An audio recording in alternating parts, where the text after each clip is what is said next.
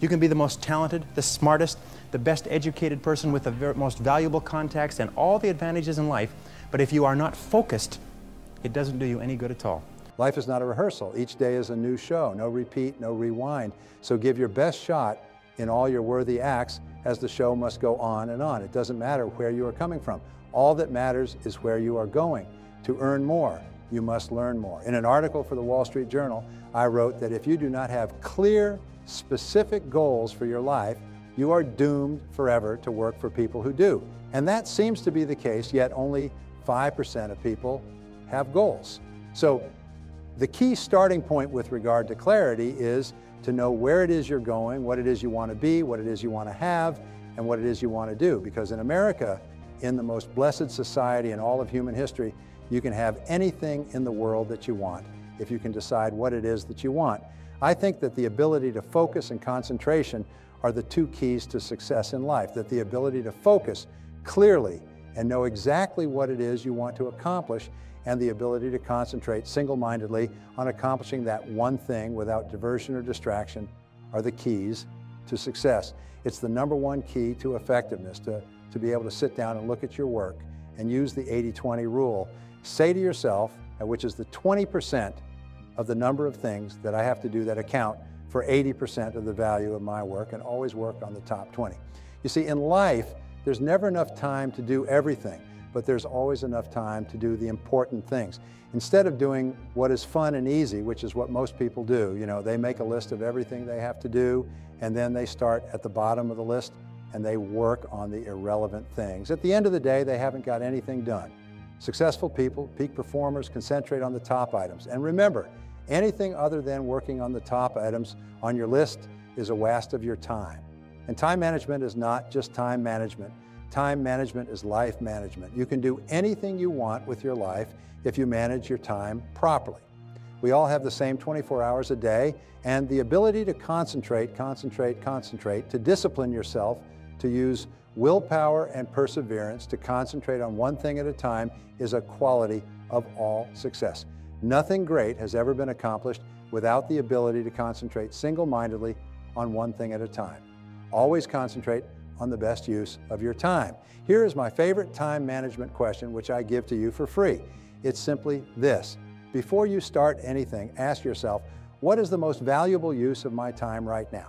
Make a list and say, what is the most valuable use of my time right now? When you get into your car, say, what is the most valuable use of my time right now? When you leave the house or leave the office, say, what is the most valuable use of my time right now? Ask yourself that question over and over and over again.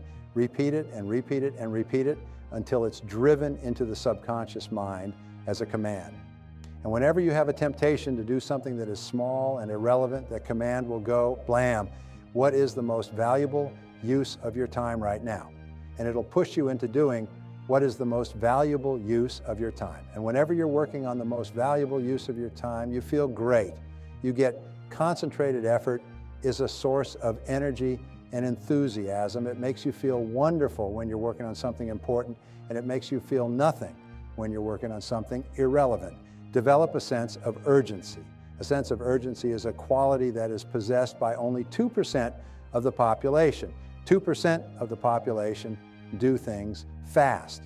Only 2% of people take quick action. In Tom Peters' great book, In Search of Excellence, he says all the best companies act quickly. Companies that don't act fast aren't considered excellent. You contact them with a problem, and it takes ages to hear back. But excellent companies respond in minutes. Focus on one thing at a time. Avoid distractions like emails and noises. Know exactly what you want in life. Successful people, the top 5%, are clear about their goals. Unsuccessful people lack direction. Humans need goals to thrive. Most unhappiness and problems stem from not knowing where you're headed. If you don't have a goal, any path will do. What one skill, if you developed it, could have the greatest positive impact on your career. This is the key to your future. There is never enough time to do everything, but there is always enough time to do the most important thing. Whatever skill you identify, you can learn. There's nothing that uh, can stop you from excelling in that skill. It's simply a matter of time. Some people will get better at it faster, others slower. But they've discovered in 25 years of research at the University of Florida, they've looked at people who started at the bottom and got to the top and became the heads of Fortune 500 heads of Fortune 1000 corporations.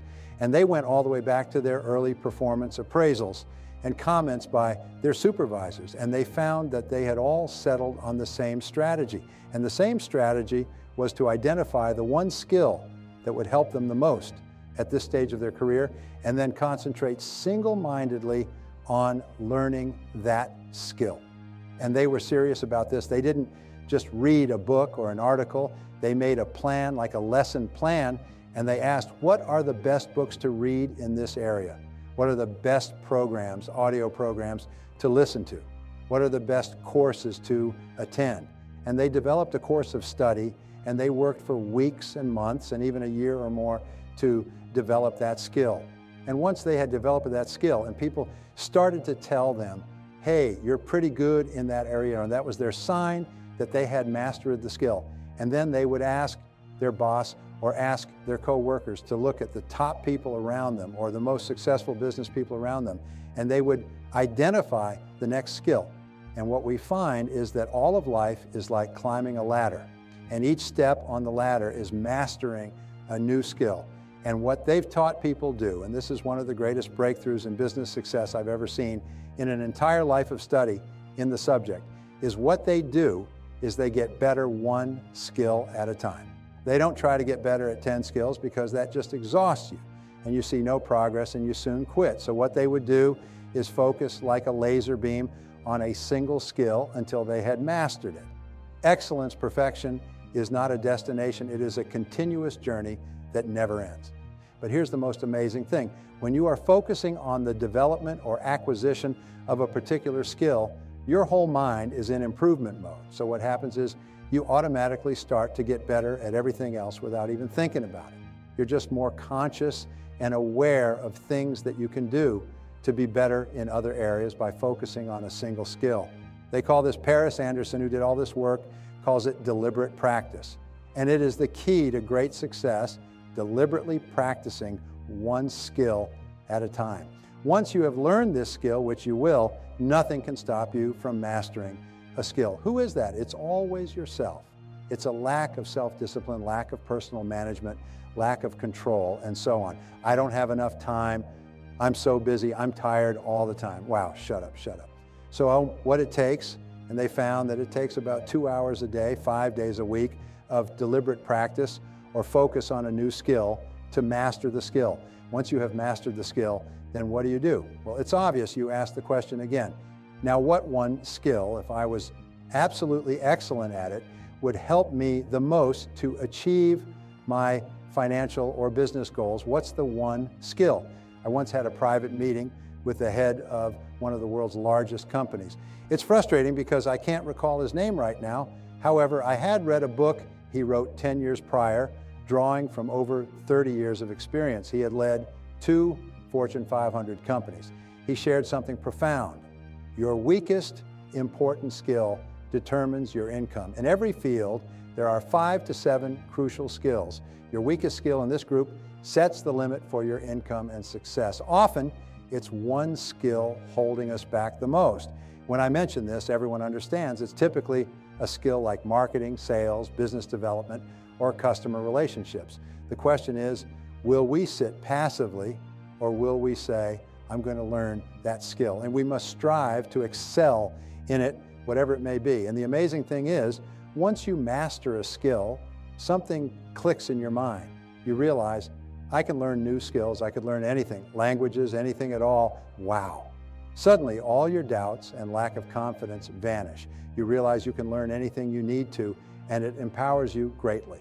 From then on, your life becomes a DIY project. You focus on learning one skill at a time, climbing the ladder of success. Each step brings higher income, more influence, and greater power in your profession. Improving in your field is crucial. So let me ask you, what's the most important work in your field? What's the highest paid work? It's thinking. You may have heard this before, and it's true. The answer is thinking. When I first heard this question, I wasn't sure of the answer. But the most important work you do is thinking, thinking well about yourself and your work. Every mistake you've made is due to poor thinking or not thinking at all. We all know what I mean. Every success you've had usually resulted from good thinking before taking action. Now, the reason why thinking is so important is the quality of your thinking determines the quality of your decisions. And it's an interesting observation that you are where you are and what you are today as a result of the total of all your choices and decisions up to this moment. In every part of your life, from the time you became an adult or before, you've made choices and decisions. The cumulative result is where you are today your income, your health, your happiness, your business, everything else. But my great rule, which is quoted all the time, is that it doesn't matter where you're coming from. All that really matters is where you're going. And where you're going is only limited by your imagination. So what you do is you say, forget the past. In the past, I could have done things differently, but I can't change the past.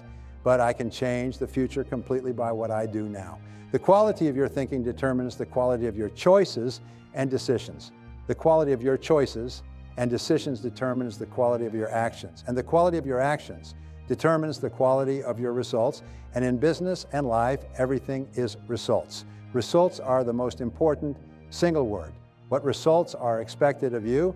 What results do you need to get in order to achieve the goals that you've set for yourself? And the ability to be absolutely crystal clear about the results that are necessary is the mark of the leader. Yeah, Peter Drucker said that the first question of the leader is always, what results are expected of me? What results are expected of me to fulfill my responsibilities, to fulfill my commitments? It's absolutely amazing. If you ask this question, you'll find that 80% of your time at work is spent on doing things that have nothing to do with results. They are just busy things conversations, reading the paper, making phone calls, going for lunch, and so on. And if you're really strict with yourself, you'll find that much of what we do contributes nothing to the results that are most important to our success. And successful people are those who are very disciplined. They ask, is this the very best use of my time? Now, uh, the importance of thinking goes beyond just achieving results. It's about understanding consequences. When I delved into time management and created various programs and books, I became recognized as one of the top time management authors globally with works published in 42 languages. One concept that truly impacted me was the idea of consequences. This concept suggests that something is important to the extent that it carries significant potential consequences. Conversely, something is deemed unimportant if it has low or no consequences. The disparity between top achievers and average individuals lies in their prioritization. Top achievers focus on tasks with substantial potential consequences, even if the outcomes aren't guaranteed. In contrast, average people spend their time on tasks with little to no impact. These tasks could be done all day without making a difference. Top achievers recognize the few critical actions that can lead to significant outcomes, whether it's learning a crucial skill, making a pivotal decision, or taking an important action. I've been teaching for over 30 years that you can learn anything necessary to achieve your goals, whether it's improving health, wealth, raising happy children, or building a successful business. There are no limits to what you can learn. This realization was a turning point in my life. The important thing is to consider what the other person requires and desires. It's intriguing to observe successful business people's mindset. They prioritize the customer and aim to enhance their life with their product or service. They genuinely believe in the value of what they offer, whether it's vitamins, cell phones, or home furnishings. They're confident that these products will enrich lives as they would even recommend them to their own family. Their focus is always on how they can assist customers in improving their lives. Given the widespread skepticism and the inundation of commercial messages, about 3,000 to 5,000 advertisements each day, people naturally approach new products with caution. To overcome this skepticism, you must consider what your potential customers truly need and desire to enhance their lives. What problems can your product solve for them? What needs can it fulfill? What goals can it help them achieve? Once you've identified these aspects, you can confidently explain to them why your product or service is worth considering. Many people, especially the bottom 80%, uh, tend to be lazy, although it's not polite to discuss it openly. They often seek shortcuts to success, hoping for an easy way to achieve their goals. However, success doesn't come from shortcuts, it comes from consistent effort and hard work, which builds habits over time. Unfortunately, most people are habituated to seeking the path of least resistance, surrounded by others who share the same mindset. It's been observed that as much as 95% of our thinking is influenced by the people we regularly associate with. If we surround ourselves with individuals who lack ambition and don't strive for self-improvement, we gradually adopt their attitudes and behaviors. This affects not just our mindset, but also our lifestyle choices, relationships, and even our children's upbringing. In contrast, successful individuals tend to associate with other high achievers. This aligns with the concept of the law of attraction. Changing our mindset attracts like-minded people into our lives. By prioritizing personal growth and development, we naturally gravitate towards those who share similar goals and aspirations. This shift in associations leads to the emergence of a new social circle that supports our journey towards success. So the key is to start by becoming the kind of person you aspire to be. When you cultivate self-respect and a positive uh, self-image, you're more likely to set ambitious goals and persist in pursuing them. Therefore, nurturing high levels of self-confidence and self-esteem is crucial, both in childhood and adulthood. As adults, we must focus on building our mental resilience and positivity through continuous self-improvement and positive reinforcement. Just as physical fitness requires regular exercise, mental fitness, feeling positive about oneself and one's life, requires consistent mental effort and reinforcement. One of the most important things I've discovered is the concept of self-esteem, which is closely linked to self-efficacy. Self-efficacy means being skilled and competent in what you do. As you strive to improve in your chosen field, whether it's at school or work, you naturally feel more confident and positive about yourself. This creates a positive feedback loop. The more you like yourself, the better you become, and the better you become, the more you like yourself. This upward spiral is crucial for success, especially for young people. The key to success is straightforward. You need to excel at something that is valuable and significant to an employer. It's essential to become highly proficient in your chosen area. Successful individuals aren't average. They invest the time and effort required to excel in their field, whether you're a gardener, an interviewer, or a speaker. It takes dedication and hard work to become truly skilled. However, if you commit to working extra hours and striving for excellence, you'll unlock countless opportunities.